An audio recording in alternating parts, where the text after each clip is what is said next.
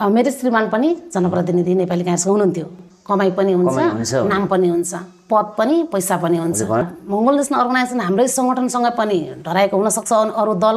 हामीले त्यसलाई राजनीति गर्दाखेरि चाहिँ कता अब के अरे नाक र मुखको राजनीति गर्नुपर्छ नाकको मात्रै राजनीति गरेर हुँदैन भन्ने कुरा पनि आयो होइन। कुनै यो थाहै नभएको पार्टी सङ्गठनमा कतिलाई थाहै छैन अनि यस्तो उठेर हार्नुभन्दा जित्ने मा चाहिँ आउनु हाम्रो आउनु हाम्रो पार्टीमा आउनुभयो भने तपाईँलाई जिताउँछौँ यो हुन्छ त्यो हुन्छ। राजनीति चलखेल भनेको यस्तो हुँदो रहेछ। हामी चाहिँ अब एकदम विचारको लडाइँ लड्ने हो।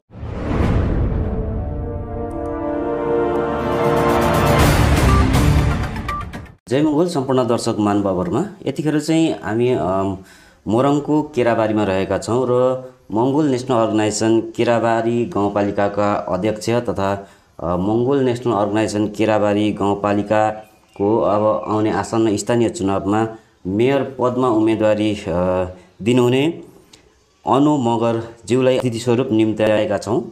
उहाँसँग विविध विषयहरूमा चुनावी विषयहरूमा कुराकानी गर्नेछौँ। उहाँसँग कुराकानी सुरु गर्नुभन्दा अगाडि आउनुहोस्। उहाँलाई आजको हाम्रो यस कार्यक्रममा स्वागत गरौँ। अनुजी स्वागत छ हजुरलाई। हस् त धन्यवाद। जय मङ्गल। अब विशेष गरेर पछिल्लो समयमा चाहिँ देशव्यापी रूपमा नै स्थानीय चुनावको एक किसिमको माहौल छाइरहेको छ होइन? तपाईँको गाउँपालिकामा चाहिँ चुनावी माहौलहरू के कस्तो भइरहेको छ होला? अहिले त चुनाव त अब चुनावको माहौल त यस्तो लागिरहेछ कि सबै पार्टी दलहरू अब आफ्नो सङ्गठनहरूबाट एकदम अब चुनावमा जान चुनाव गर्ने भनेर एकदम एकदम लागि परेछन् गाउँ घर घर यतिखेर सबैलाई गएर व्यापक रूपमा लागिरहेछ चुनाव। तपाईँ मङ्गल नेसनल अर्गनाइजेसन सङ्गठनको तर्फबाट चाहिँ केराबारी गाउँपालिकाको मेयर पदमा उम्मेदवारी दिँदै हुनुहुन्छ। हजुर। जित्ने सम्भावना कतिको छ तपाईँको? मलाई त जहाँसम्म लाग्छ अलिकति हाम्रो प्रचार प्रसार अलिक कम भएको चाहिँ अलिकति अलिकति थोरै हामीले ढिलो चाल पाएको हो कि जस्तो लाग्छ। सकेसम्म त जित्ने नै आशा छ। जित्छौँ भन्ने नै आशा छ। जित्नेमा अब विश्वास त हुनुहुन्छ एकदम। अहिले अब अन्य तपाईँको केराबारी गाउँपालिकाको अन्य वडाहरूमा चाहिँ सङ्गठनको गतिविधिहरू के कसरी अगाडि बढिरहेछ? अहिले हाम्रो यता ओडातिर अब यो चुनावको प्रचारहरू लाँदै होइन सबैतिर अब प्रशिक्षणहरू राख्दै घर दैलो जस्तो पनि गरेर अनि मिटिङहरू बस्दैछ बस्दै अब अहिले चुनावमा जाने उम्मेदवारहरू सबैजनाले आफ्नो नामहरू दिने होइन यस्तै हाम्रो छलफल यस्तो मिटिङ गर्दै चुनावको हामी चाहिँ अगाडि अ, स्थानीय चुनावको निम्ति केराबारी गाउँपालिकादेखि तपाईँहरूले उम्मेदवारीहरू चयन गरिसक्नु भएको छ? हजुर। अब तपाईँको मेयर पदमा चाहिँ अन्य राजनीतिक दलहरूबाट पनि दावेदार व्यक्तिहरू उठ्छन् पक्कै पनि होइन? ती व्यक्तिहरू अथवा ती राजनीतिक दलहरूसँग चाहिँ एउटा एक किसिमको सङ्घर्ष गरेर तपाईँले जित्छु भनेर विश्वस्त हुनुहुन्छ होइन? यसको लागि चाहिँ गृह कार्यहरू कतिको गर्दै हुनुहुन्छ? अब यसमा जित्छौँ भन्ने त यस्तो अब राजनीतिमा गर्दै लाँदाखेरि जित्ने हार्ने भन्ने त हुन्छ नै तर जित्छु भनेरै लड्ने हो नि त। हजुर हजुर अवश्य। अनि मैले त सकेसम्म मलाई लाग्छ हाम्रो समुदाय मङ्गोल प्रेमी यत्रो अस्सी पर्सेन्ट मङ्गोल प्रेमीहरूले बुझेपछि उहाँहरू सबैलाई आफ्नो अस्तित्व अधिकार त चाहिएकै छ नि त। अहिलेसम्म किन यो पछाडि थियो कहाँ थियो हामीले अहिलेसम्म थाहा पाएनौँ हामीले ढिलो यो कुरा थाहा पाइरहेको छौँ भनेर सबैजना नै अहिले लगभग लगभग खुसी नै मान्नुहुन्छ। अनि मलाई लाग्छ अब जितिन्छ जितार भन्ने कुरा त लडिसकेपछि हुन्छ नै तर पनि सबैलाई थाहा दिनु थाहा दिएर अब सबै एक हुनुपर्छ भन्दै यसरी नै अब भनेपछि बाई चान्स कथम कदाचित तपाईँले हार्नुभयो। हजुर। स्थानीय निर्वाचनमा हार्नुभयो भने पनि तपाईँ सन्तुष्ट हुनुहुन्छ। एकदम। मलाई त हारेँ भनेर गुनासै छैन। अब हारियो नै भने पनि लडेको हो जित्ने भनेरै लडेको हो। हार्यो भने बुझौँला अलिकति हाम्रो मान्छेहरूले अलिकति बुझ्न कम भयो। भनेपछि फेरि। अर्को आगामी चुनावमा चाहिँ पाँच वर्ष पछाडि हुने चुनावको लागि चाहिँ फेरि तयारी सुरु गर्नु पर्यो। हजुर। त्यसमा फेरि एकदम हन्ड्रेड पर्सेन्ट जितिन्छ। यो चुनावमा भएन भने पनि अब आउने चुनावमा चाहिँ हन्ड्रेड पर्सेन्ट कन्फर्म हुनुहुन्छ है। एकदमै मलाई चाहिँ त्यस्तो लाग्छ। तपाईँले मङ्गल नेसनल अर्गनाइजेसनदेखि उम्मेदवारी योभन्दा अगाडिको चुनावहरूमा पनि दिनुभएको थियो कि? मैले दिएको थिइनँ। मलाई यो लगभग थाहा पाएको नै धेरै वर्ष भएको छैन नि त। एमएनएको यो मङ्गल अर्गनाइजेसन यो सङ्गठन छ हाम्रो भन्ने कुरा नै मैले अलिकति ढिलै थाहा पाएको। अलिकति योभन्दा पहिलो चुनावमा अघिल्लो चुनाव भएको बेलासम्म पनि यो सङ्गठनको बारेमा केही कुरा मैले यति बुझेको थिएँ भने सायद यतिखेर हाम्रो धेरै राम्रो नै हुन्थ्यो अझै हन्ड्रेडमा हन्ड्रेडै हुन्थ्यो भन्ने मलाई लाग्छ। तर मैले पनि अलिकति बुझ्न ढिलो भयो। अब त्यो चाहिँ अब के भएर केमा कमी कमजोरी भयो हामीमा होइन? त्यस कारणले म जस्तो अरू नबुझ्ने कति हुनुहुन्छ होला? गत स्थानीय चुनाव दुई हजार चौहत्तर सालको चुनावमा भन्दा अगाडि तपाईँहरूले सङ्गठनको विषयमा बुझ्नुभएको भए यो चुनावमा चाहिँ अब आउने आसन्न चुनावमा चाहिँ जित्ने तरिकाले एकदम कन्फर्म हुने तरिकाले चाहिँ तयारी गर्नुहुन्थ्यो। हजुर। अन्य राजनीतिक दलहरूबाट चाहिँ तपाईँलाई कुनै कुनै किसिमको प्रलोभनहरू आउने गरेका छन् कि छैनन् होला? यो क्वेसनको लागि चाहिँ सरलाई धन धेरै धेरै धन्यवाद। राजनीति चलखेल भनेको यस्तो हुँदो रहेछ। हामी चाहिँ अब एकदम विचारको लडाइँ लड्ने हो।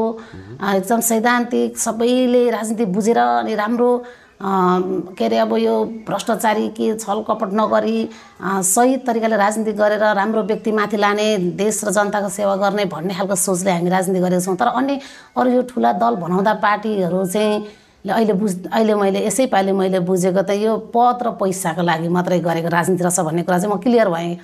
त्यस्तो लो लो प्रबलन त अब अहिले मेरै घरमा मलाई नै पनि यसरी आयो धेरै धेरैवटा कुरा आयो धेरैजनाले भन्नुभयो मलाई प्रत्यक्ष भेटेर पनि भन्नुभयो। यसरी यो थाहै नभएको पार्टी सङ्गठनमा कतिलाई थाहै छैन अनि यस्तो उठेर हार्नुभन्दा जित्ने मा चाहिँ आउनु हाम्रो आउनु हाम्रो पार्टीमा आउनुभयो भने तपाईँलाई जिताउँछौँ यो हुन्छ त्यो हुन्छ। अन्य यस्ता कुराहरू धेरै छन् म सबै अहिले म अझै खुलेर भन्दिनँ होइन? तर धेरै लोभ लाज देखाएकै हो। तर मलाई त्यो भ्रष्टाचारी गरेको पैसा चाहिँदैन होइन? अब अहिले गठबन्धन गरेका छन् होइन? गठबन्धन गरेर जानुभएको छ अब डाइरेक्टली भन्नुपर्दा पनि फरक त पर्दैन। तर पनि अब अहिले यति भनेपछि उहाँहरू जनताहरूले बुझ्नुपर्छ। गठबन्धन गरेर जाने सङ्गठन पार्टीहरू सबैले प्रायः जसो सबै दलबाट नै आउनुभयो। त्यो बिचमा चाहिँ तपाईँलाई के किसिमको प्रलोभन देखाएको थियो होला? अलिकति भन्नु मिल्छ कि? अब मान्छेलाई राजनीति गर्दाखेरि चाहिँ कता अब के अरे नाक र मुखको राजनीति गर्नुपर्छ नाकको मात्रै राजनीति गरेर हुँदैन भन्ने कुरा पनि आयो होइन कुनै दलबाट। नाक र मुखकै राजनीति गर्नुपर्छ भन्ने कुरा पनि आयो।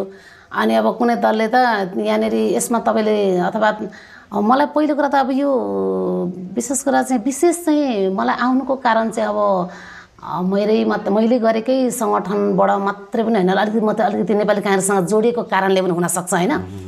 अब अब त्यस्तै मैले खुलेर भनिदिनु पर्दाखेरि मेरो श्रीमान पनि जनप्रतिनिधि नेपाली काङ्ग्रेसको हुनुहुन्थ्यो। अनि अब अहिले चुनाव आउँदैछ। मैले चाहिँ अब उहाँले पनि छोड्नु भएन आफूले गरिरहेको। मैले चाहिँ अब यता एमएनहरू चाहेँ मैले त डक्टर गोपाल गुरुङको दर्शन बुझेपछि मलाई त अरू सङ्गठन पार्टीको त मलाई त कुनै अब त्यो सबै झुटमाथि झुट नै लाग्यो जति पनि राम्रो बोल्यो भने झुटो लाग्न थाल्यो। फेरि उहाँले चाहिँ त्यतै अब पहिल्यैदेखि हिँडिरहेको अहिले नै अब परित्यागै गरेर पनि गरिदिनँ त्यही पार्टी नै अब ठिक छ भनेर पनि जाँदै हुनुहुन्थ्यो। अब अहिले एउटै घरमा दुईजना चाहिँ श्रीमान श्रीमती चाहिँ विपक्षी भएको कारणले पनि अब एउटै हुनुपर्छ। त्यसरी किन आफ्नो घरकोलाई धोका दिने? यत्रो फल खाने बेलामा यत्रो जनप्रतिनिधि पाँच वर्ष यसरी बिताउनु भयो। अब झन् वडाध्यक्ष पाउने वडाध्यक्ष भएपछि त नभएको पनि पैसा राम्रै कमाइ पनि हुन्छ। अब यतिसम्म अहिले पनि यति पनि भनेको थिएँ कि त्यो चाहिँ भन्दिनँ। राम्रै हुन्छ भन्ने कुरा पनि होइन कमाइ राम्रो हुन्छ घर राम्रो चलाउन सक्नुहुन्छ। किन यस्तो गर्ने त्यो भनेर त्यसरी कुरा आएको थियो। तर मैले भने मलाई चाहिँ राजनीति गरेर भ्रष्टाचार गरेर दुई पैसाको लोभले चाहिँ कुनै कसैले पनि उम्मेदवार जो जो को जो जुन जुनमा उठ्नुहुन्छ नि त अब देशमा अब राजनीति गरेर जाने देशको सेवा गर्ने जनताको सेवा गर्न जाने भन्ने जोसुकैले भने पैस पैसा र पदको लागि भनेर चाहिँ कोही पनि नजाइदेऊन् तर त्यस्तो खालको लोभ लालच कसैले कसैलाई नदेखाओस्। यहाँनिर त्यस्तो भन्ने धेरै दलहरू आउनुभयो। अनि त्यस कारणले पनि आउनुभएको होला। अथवा सङ्गठन हाम्रो मङ्गोल नेसनल अर्गनाइजेसन चाहिँ अब अगाडि बढिसक्यो। यिनीहरू भन्ने कुरा न त हामी विशेष त मङ्गोल नेसनल अर्गनाइजेसन हाम्रै सङ्गठनसँग पनि डराएको हुनसक्छ अरू दल। हामी त गलत राजनीति गलत गरेर जाने सङ्गठन त होइन नि त हाम्रो त। हामी त सबैलाई देशै उम्, कै अब जनतादेखि लगेर हाम्रो देश नै परिवर्तन गराउने हाम्रो त लक्ष्य हो नि त। त्यस कारणले न त हाम्रो सङ्गठनसँग डर भएको न त अब मेरो श्रीमान चाहिँ अब घरमा हामी श्रीमान श्रीमती चाहिँ दुई पक्ष भएकोले गर्दाखेरि अब हार्छौँ भन्ने डर भएको कि के भएको। तर यस्तो घटना त अब धेरैको कोही एमाले कोही काङ्ग्रेस कोही माओवादी कोही एमाले यस्तो त दुनियाँ घरमा त छन् नि त। तर हाम्रो चाहिँ घरमा चाहिँ मेरो चाहिँ घरमा चाहिँ किन सबैलाई त्यस्तो टार्गेट गरेँ कि मैले नै हराउने अरे उता भन्ने कुराहरू चाहिँ यस्तो धेरै आयो। भनेपछि तपाईँको श्रीमान चाहिँ नेपाली काङ्ग्रेसबाट जननिर्वाचित प्रतिनिधि हुनुहुन्छ। हजुर। भनेपछि त श्रीमान नेपाली काङ्ग्रेसको चाहिँ एउटा आस्था राख्दै राखेर आउनु भएपछि त श्रीमती पनि स्वत नेपाली काङ्ग्रेसप्रति नै झुकाव राख्नुपर्ने तर यो मङ्गोल दर्शन चाहिँ यो खुराक चाहिँ तपाईँले कसरी प्राप्त गर्नुभयो मैले हिजोसम्म त थाहा नपाउँदाखेरि मैले जुन डक्टर गोपाल गुरुङको दर्शन नपाउँजेलसम्म चाहिँ मैले पनि अरू पार्टीलाई आफ्नो ठानेकै हो। मैले थाहा पाउँदाखेरि मैले राजनीति भनेर बुझ्दाखेरि एमालेको झन्डाहरू बोकेर नाचेर हिँडेकै मान्छे हो। सूर्यको झन्डा सूर्यको नाचेर हिँडेको मान्छे। पछि गएर अब यता घरपट्टिबाट चाहिँ नेपाली काङ्ग्रेसलाई नेपाली काङ्ग्रेस भनेपछि रगतको नाताभन्दा बढी प्यारो लाग्न थाल्यो। पार्टीको मान्छे देखेपछि आफ्नो सन्तान परिवार देखे जस्तो लाग्थ्यो। त्यो नबुझेको कारणले रहेछ। जब अहिले आएर मैले महामानव डक्टर गोपाल गुरुङको दर्शन पाएँ उहाँको सिद्धान्तहरू बुझेपछि त जस्तो उहाँको दर्शन जस्तो चाहिँ नेपालमा कुनै पार्टीहरूको पनि मैले दर्शन त्यस्तो लागेन त। सबै यो खेलबाड यो चलखेल यो राजनीति यो झु उनीहरूले हामीलाई झुटो राजनीति भनेको झुटो कुरा झुटो खेल भन्थे। तर वास्तव उनीहरूको चाहिँ राजनीति झुटो नै रहेछ। सही सत्य राजनीति भनेको चाहिँ महामानव डक्टर गोपाल गुरुङको यही दर्शन मात्रै हो भन्ने बुझेर मैले चाहिँ त्यो पार्टीलाई परित्याग गरेर त्यो चाहिँ मेरो अब केही पनि होइन वास्तविक हाम्रो सङ्गठन पार्टी राजनीति गर्नुपर्दा यही एमएनओ नै ठिक छ एमएनओमै जानुपर्छ भन्ने मैले मलाई लागेर बुझेर नै म चाहिँ यतैतिर यसरी तपाईँ चाहिँ अब एमएनओमा आबद्ध भएर अगाडि बढिरहनु हुँदा सङ्घर्ष गरिरहनु हुँदा तपाईँको श्रीमानबाट चाहिँ कस्तो प्रतिक्रिया आउनु श्रीमानबाट पहिला पहिला त अब धेरै नै छ त्यस्तो कुराहरू होइन अब खासै अब नबुझेर उहाँले पनि मन पराउनु हुन्न थियो मैले पुस्तकहरू पढ्दाखेरि पनि अलिकति के के अब भन्ने मोबाइलहरूमा अब कार्यक्रमहरूमा सुनिरहन्थेँ। अनि हाम्रो एमएनएको भनेपछि चाहिँ सबै कार्यक्रम लगभग म हेर्थेँ मोबाइलमा। मैले मोबाइल ठुलो बजाउँदाखेरि पनि झर्को मान्नुहुन्थ्यो। पछि मैले आज आज भोलि भोलि गर्दै वर्षौँ बितेपछि मैले क्लियर भएँ। आफूले धेरै बुझिसकेपछि मैले उहाँलाई भन्न थालेँ। वास्तविक हाम्रो राजनीति गरेर हिँडेर राजनीति अहिलेसम्म यो उमेरसँग राजनीति भनेर हिँडेर हिँडेको बापतमा हाम्रो फाइदा यो हामीलाई मात्रै नभएर यो देशलाई चाहिँ के चाहिँ फाइदा भयो त? हामीलाई त लु भएन भएन हामी त दुःख सुख यसो गरेर खाएर बाँचेकै छौँ तर यो देशै सकिसक्यो।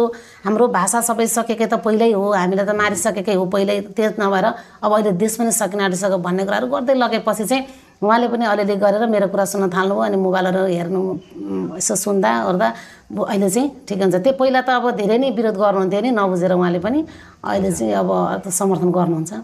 हजुर अब चुनावतिर नै अलिकति म तपाईँलाई मोड्न चाहेँ। अब स्थानीय चुनाव यति- यतिखेर चाहिँ गाउँघरमा एकदम व्यापक रूपमा लागिरहेछ होइन? अब जनप्रतिनिधि चुन्नेदेखि लिएर चाहिँ घर दैलो प्रचार प्रसार गर्ने।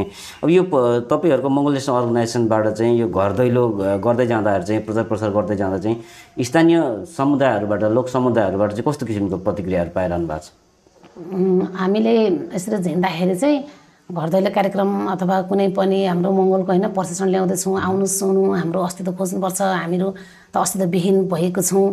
अब हामीले जहिले तहिले यो पशु जस्तो जिन्दगी नबिताउँ भनेर हामीले यसरी कार्यक्रम राख्नुपर्छ भन्दा चाहिँ पहिले पहिले चाहिँ हाम्रो मान्छेलाई अझै पनि मलाई लाग्छ कि राजनीतिक चेतना नभएकै कारणले होला कार्यक्रममा आइदिनु न सुनिदिनु बुझौँ भन्दाखेरि खासै चासो देखाउनुहुन्न। जबरजस्ती जस्तो गरेर नै ल्याउनुपर्छ। तर केही सुनिसकेपछि चाहिँ उहाँहरूले चाहिँ एकदमै राम्रो वास्तव यही हो नि हामीले कस्तो ढिलो थाहा पाएको भर्खर मात्रै सुन्यौँ कस्तो थाहा नपाएको अलिक अगाडि नै बुझ्नु पर्थ्यो हामीले यो कुरा भन्ने कुरा चाहिँ सबैजनाले भन्नुहुन्छ। भनेपछि भनेपछि प्रचार प्रसारको कमी छ। प्रचार प्रसारको एकदम भन्ने कमी नै जस्तो तर जस अहिले त हामीले सकेसम्म त गर्दैछौँ। तर उहाँहरूले अझै पनि हाम्रो यो कस्तो छ भने एरिया पनि हाम्रो अलिकति यहाँको अलि भित्र तराईको जस्तो समतल छैन होइन? पहाडी भेग अलिक अभेग छ जान ओर्न पुग्नलाई पनि अलिक समस्या भएर प्रत्येक ठाउँमा हामी कहीँ कतै हामी नपुगेको पनि हुन सक्छौँ र अहिले नपुगेको ठाउँहरूमा पुग्दाखेरि चाहिँ त्यस्तो भन्नुहुन्छ। प्रचार प्रसार पनि अब कमी नै हाम्रो भएको भन्नुपर्छ त्यसमा चाहिँ। हजुर भनेपछि अब यो स्थानीय चुनावमा चाहिँ विविध कारणहरू बस चाहिँ तपाईँहरूले प्रचार प्रसार गर्नु सक्नु भएन र चाहिँ स्थानीय चुनावमा चाहिँ तपाईँहरूले सोचेको जतिको मत प्राप्त गर्न सक्नु भएन भने पनि अब अब आउने अर्को चुनावमा चाहिँ तपाईँहरू एकदम जित्ने तरिकाले नै कन्फर्म भएर अगाडि बढ्नुहुन्छ। मलाई चाहिँ एकदमै त्यस्तै लाग्छ। म त जितिन्छ यसपालि हाम्रो मान्छेहरूले यो हाम्रो भनेर भन्दा पनि अर्को पार्टीको आशामा लोभमा पर्नु भएको छ कि पार पर्नुहुन्छ कि उनीहरूले त अनेकै देखाउँछ नि त। अब जागिर दिन्छ तेरो छोराछोरीलाई। पैसा दिने खुवाउने अब मासु रक्सी खुवाउने पेट्रोल हालिदिने युवाहरूलाई अब अलिअलि बोझमा पैसा लगाइदिएपछि प्रचार प्रसार व्यापक गरिहाल्छन्। त्यो माहौल देखेर अब हाम्रो मान्छेहरू अलिकति चेन्ज हुन्छन् कि भोट लगाउने बेलामा भन्ने चाहिँ लाग्छ होइन? छोराछोरीलाई जागिर लगाइदिने अथवा तपाईँलाई नै एउटा राम्रो कुनै जिम्मेवारी दिने प्रलोभनहरू आयो कि आएन तपाईँमा चाहिँ। जागिर चाहिँ होइन तर पनि जागिर भन्नुभन्दा पनि हाम्रोमा आएर हाम्रोबाट उठिदियो भनेदेखि अब एकदम राम्रो हुन्छ। कमाइ पनि हुन्छ। नाम पनि हुन्छ पद पनि पैसा पनि हुन्छ। भन्ने कुरा चाहिँ आयो। त तपाईँले त्यो अस्वीकार गरिदिनु भयो मैले चाहिँ अस्वीकार गरेको हजुर। किन अस्वीकार गरिदिनु भयो त तपाईँले? त्यति राम्रो मैले त यस्तो पनि भने यस्तो भने मलाई त यो भ्रष्टाचारी गरेर कमाएर छोराछोरी मेरो छोराछोरीलाई त त्यो अर्काको पसिनाले पोल्छ। झन् मेरा आउने भावी सन्तान बिग्रेर जान्छन्। मलाई मेरो सन्तान बिगार्नु छैन। भ्रष्टाचार गरेको सम्पत्ति चाहिँदैन। सत्र वर्षसम्म नेपालमा जागिर खाएर पसिना बगाएर देशको सेवा गरेर आउनुभएको अब मेरो श्रीमानले त हामीलाई अब यति दुःख सुख अब यस्तो छ भने त्यो दुई चार वर्ष गरेर राजनीति गरेर पैसा कमाएर चाहिँ यहाँ राम्रो केही पनि हुँदैन। त्यसले चाहिँ मलाई एकदमै हन्ड्रेडमा हन्ड्रेड मेरो छोराछोरीलाई झन् बिगार्छ जस्तो लागेर नै मैले चाहिँ अस्वीकार गरेको। भनेपछि तपाईँ मङ्गल नेसनल अर्गनाइजेसनका फाउन्डर प्रेसिडेन्ट डाक्टर गोपाल गुरुङज्यूको दर्शनप्रति अडिग हुनुहुन्छ। म चाहिँ एकदमै हजुर। भविष्यमा जस्तो सुकै किसिमको बाधा अड अडचनहरू आइपरे पनि त्यसलाई चाहिँ तोडेर त्यसलाई त्यागेर तपाईँ निरन्तर अगाडि बढिरहनुहुन्छ यसमा हजुर म चाहिँ एकदमै म चाहिँ बाँचुन्जेलसम्म मैले गर्न सक्ने मैले बोल्दा हुने अथवा मैले गएर मैले सरसहयोग गर्न सक्ने मैले स- केसम्म चाहिँ के गर्दा हुन्छ म चाहिँ उहाँको दर्शन छोड्न सक्दिनँ। त्यो बिना चाहिँ हामी उहाँको दर्शन बिना चाहिँ हामी मान्छे नै छैनौँ। अनि पशु सर भएर बाँच्न पनि चाहना छैन। मान्छे भएर बाँच्ने हो। जस्तो सुकै कठिनाइ समस्या आइपरे पनि बरु लड्न मर्न पनि तयार तर यस यसबाट पछि हट्ने चाहिँ छैन। हजुर अब हामी लगभग अन्त्यतिर छौँ।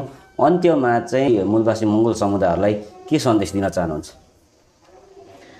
हाम्रो यहाँ केराबारीको यहाँ हाम्रो गाउँवासी गाउँपालिकाको सम्पूर्ण जति पनि हाम्रो हुनुहुन्छ अब आमा बुवा दाजुभाइ दिदीबहिनी जति जे जे हाम्रो गाउँपालिकामा हुनेहरूलाई चाहिँ हिजोको दिनसम्म नबुझेर आजसम्म पनि नबुझ्नु भएकोहरूलाई त उहाँ त म के भन्छु भने उहाँहरूलाई त सरी पनि भन्नुपर्छ। यति हामीले अगाडि बढेर हिँड्दा पनि उहाँहरूसम्म पुग्न नसकेको पनि छौँ कति ठाउँमा होइन? उहाँहरूसँग चाहिँ तर हामीले पुगेर जतिलाई हामीले भेटेर हाम्रो मङ्गलको दर्शनहरू बुझाइसकेको छौँ उहाँहरूले चाहिँ केही कसैको लोभमा नपरिकन कसैको मिठो कुरामा चिप्लो भाषणमा नपरिकन अब चाहिँ हाम्रो मूलवासी मङ्गोल हाम्रो अस्तित्वसहित मङ्गोलमय हाम्रो यो देश गाउँपालिका सबै चाहिँ मङ्गोलमय बनाउनु पर्छ है भनेर चाहिँ म चाहिँ उहाँहरू सबैलाई मेरो अनुरोध हार्दिक अनुरोध आग्रह गर्छु।